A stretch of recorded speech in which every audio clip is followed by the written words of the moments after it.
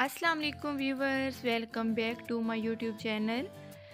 I hope आप सब ठीक होंगे। आज मैं आपसे एक मज़ेदार सी रेसिपी शेयर कर रही हूँ, जो कि है बीफ पाया रेसिपी, जो कि बहुत ही मज़ेदार, बहुत ही टेस्टी बनती है और बहुत ही ज़बरदस्त। तो रेसिपी स्टार्ट करते हैं।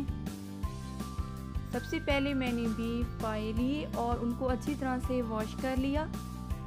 और अब मैं इनको ट्रांसफ़र करूँगी एक प्रेशर कुकर में। तो प्रेशर कुकर में मैं पाए शामिल कर रही हूँ। ताकि अच्छी तरह से गल जाए। प्रेशर कुकर में कम टाइम में बहुत जल्दी से ये गल जाएँगे।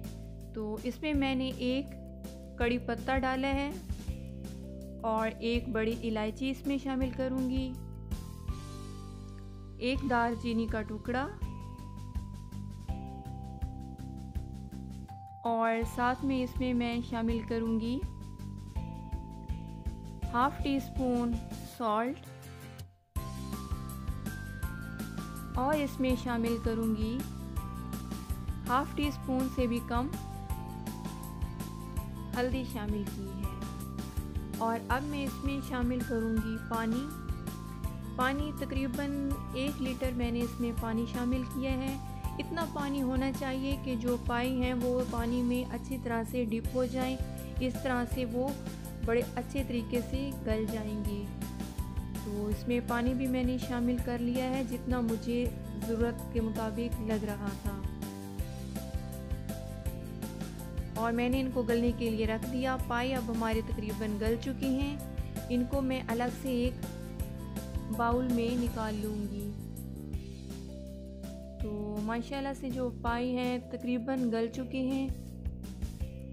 इनको एक अलग से बाउल में निकाल लेंगे और जो इसकी यखनी होगी, उसको अलग से एक बाउल में रख देंगे। तो पाई मैंने सारे अलग से एक बाउल में निकाल लिए। अब एक कढ़ाई में मैंने आयल लिया है, आप आयल की जगह घी भी इस्तेमाल कर सकती हैं। ये आप पे डिपेंड करता है जो चीज़ आपको पसंद हो। तो आयल में मैंने एक मीडियम साइज़ की प्याज ली, उसको मैंने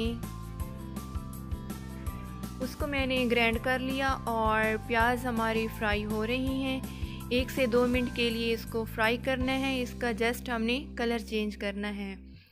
तो अब मैं इसमें शामिल करूँगी अदरक और लहसुन का पेस्ट। तकरीबन दो टेबल स्पून है और इनको भी एक से दो मिनट के लिए हम फ्राई कर लेंगे। इनको बिल्कुल इसका जो कलर है वो हमने डार्क नहीं करना।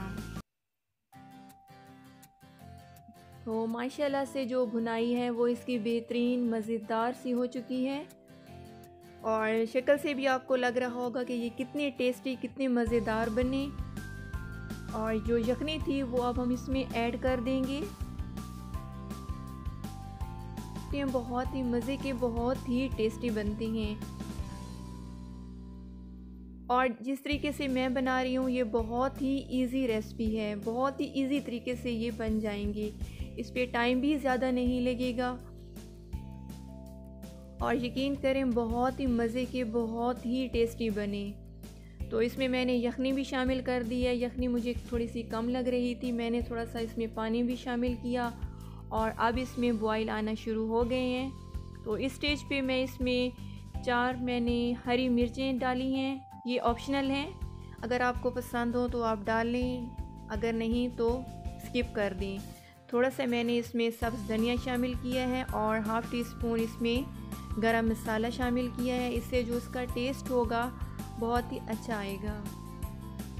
तो बस ये आसान सी ही रेसिपी है। और अब मैं इसको कवर कर दूँगी। पाँच से छः मिनट के बाद इसको देखते हैं। तो माशाल्लाह से जो हमारे पाए हैं वो रेडी हैं। और इसकी थिकनेस भी आप चेक करें। कितने मज़े के गाढ़े गाढ़े से ये बन चुकी हैं।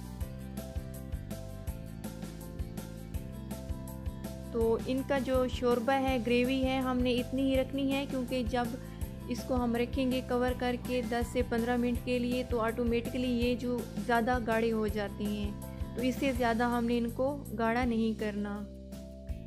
तो जो फ्लेम है, वो मैंने बिल्कुल मीडियम कर दिया है और अब हम इसको डिश आउट कर लेंगे। तो मैंने फ़ौर से इसको डिश आउट किया, इसलिए इसकी जो आयल था ऊपर से, वो इतना नहीं आया। और अगर आप इसको 10 से 15 मिनट के लिए इसको आप रख देंगे, जो ऊपर से आयल आ जाएगा तो ये रेड रेड सा बन जाएगा।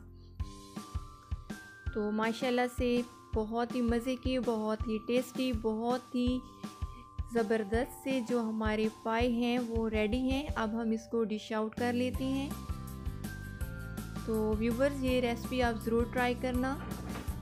इन आपको ये हमारी ये रेसिपी पसंद आई होगी।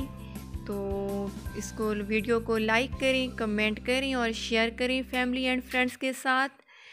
और बेल आइकान के बटन को भी प्रेस करें ताकि हमारी आने वाली जो वीडियोस होंगी उसका नोटिफिकेशन आपको मुफ़्त में मिलता रहे। तो दुआओं में याद रखना इन एक अच्छी सी रेसिपी के साथ, एक एक मज़ेदार सी रेसिपी के साथ मिलती हैं। दुआओं में याद रखना। अल्लाह हाफिज़।